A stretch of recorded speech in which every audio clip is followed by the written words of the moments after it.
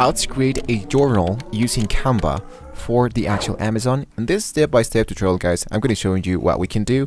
So Canva is an amazing place to start designing almost everything and totally for free. Of course there are a few elements that you want to use if you have Canva Pro or if you want to have those elements you want to have Canva Pro. That's why I'm going to leave you a link down below in the description so you can have your Canva totally for free for the next 30 days without having to pay absolutely anything. So with that being said, let's just jump right into it. If you don't know what this actually Amazon Kindle is, well this is an ebook where you can just buy some different ebooks uh, and you can use them to see those into Kindle. So the amazing part is that now we can be able to self-publish ebooks totally for free. So how does this actually works? Alright, so as you can see I'm into kdp.amazon.com. If you have already a Amazon account, what you want to do is to sign in. And here what you want to do is to start to create your own account in order to start selling some direct publishing Kindle. And the very amazing part of this is that we don't have to spend absolutely anything because we just want to make the design and the design is totally for free into Canva. So first of all I'm going to go into kdp.amazon.com and I want to go into sign in with my Amazon account. So now as you can see, we are now into the setup. Into the setup, it's just really easy to set up your actually stuff. We just need to provide a all of the information as you can and here we can just create, manage and publish. So if I hit into the option that says create, here we can start to create our very first digital product. So here I want to look out for the actual Kindle ebook, which is actually this one. I'm going to type create ebook. There we go. So it's going to be popping up all the new elements so I can start working here into the KDP. As you can see, it's going to be asking me for the language, the book title, the series, if there's a series part of series, uh, the edition number, the author, the contributors, the description, the publishing rights, and much more.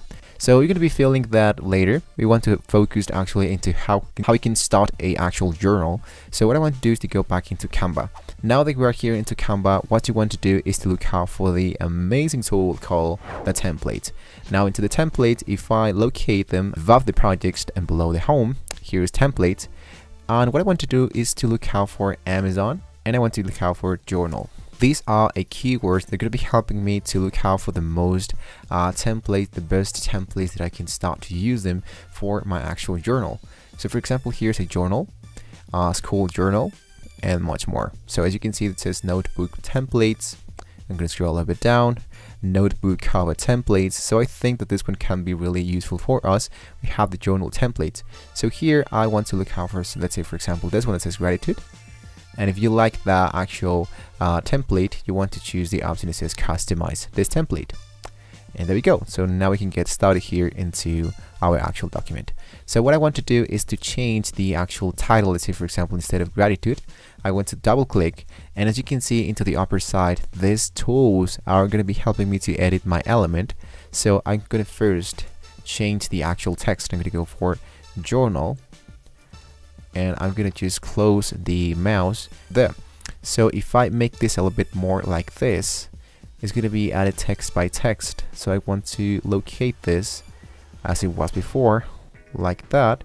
And as you can see we do have the guidelines that are gonna be helping me to make this a little bit more with the symmetric stuff. So there we go. Now if I go into add page I can go into design and here to design, if I choose the actual design that I just selected, for example, the all results, I can start by creating an actual uh, journal with my notebook template. For example, this one. Add as a new page. Here is my actual journal. And instead of choosing the option that says journal, I want to delete all of these elements. Or I can choose another template if I don't want to see this. And there we have it. So I'm going to choose this 5 minutes journaling and I'm going to change the actual text like this and I'm going to make this a little bit more smaller. There we go. So lastly guys, there, as you can see there's an element here of a plant. So I'm going to choose this one and I'm going to delete it. I want to look for something that's more accurate of my actual hardbook cover. So I'm going to go into elements. Now here into elements, uh, what I want to do is to look out for the actual keyword of my document of the design that I'm just creating. In my case, I want to look out for some peas or I don't know, maybe I'm going to type just peas so as you can see, there's actually a lot, really, really a lot of tools. So I'm going to look out for, let's say, this one. So I clicked there, and what I want to do is to just drag them and drop where we actually were uh, leave this. So I think that I do have an idea. I want to choose actually this element to import that in here. So I'm gonna leave it like that. So I'm gonna choose this element. I'm gonna make this a little bit more big enough. And then later I'm gonna go into the right click I'm gonna send this to the back and I'm gonna change the transparency up to like 30% so we have more style listed here our journal right? So since this is a journal I want to duplicate this page. There we go. So instead of 5 minute journaling I'm gonna change that for 10 minute journaling.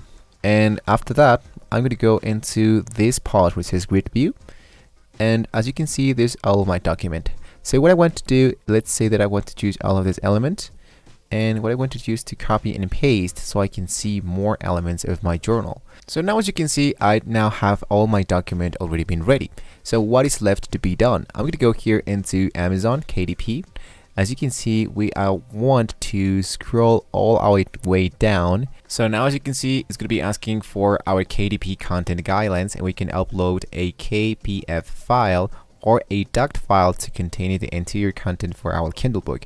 So if you're not really sure how you can import this, what I can strongly suggest do is to choose the option you can use Kindle Create to transform your manuscript with professional book themes, images, and table content. Download for version totally for free. So after you choose that, let's say for example I'm going to type the upload ebook manuscript. And of course you want to make sure that you want to download out the very first page, which is only this one.